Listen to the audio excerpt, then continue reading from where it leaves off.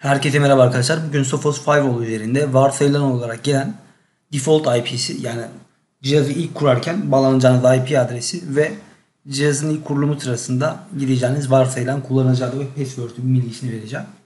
Şu an bende cihaz açık kurulum yapılmış konumda fakat kurulumu ilk kez yapacak arkadaşlar. Cihazın birinci portunda e, bir kablo atacak bilgisayarına ve şu IP default IP adresi cihazın bu IP üzerinden bağlanacak.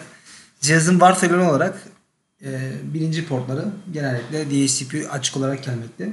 Birinci porttan bağlandınız e, ve şu IP adresini tarayıcı cihazınız cihazınızın e, Sophos'un hani web yönetim ekranı açılacaktır. Buradaki varsayılan kullanıcı adı ve şifresi admin admin. Tabi kurulumla ilgili farklı bir video yapacağım. Sophos kurulumu ile ilgili. E, lisansların atanması vesaire bunları farklı bir videodan alacağım. Bu videomuzda Sophos'un default olarak gelen IP adresini ve default olarak gelen kullanıcı adı ve kullanıcı şifresini öğrenmiş olduk.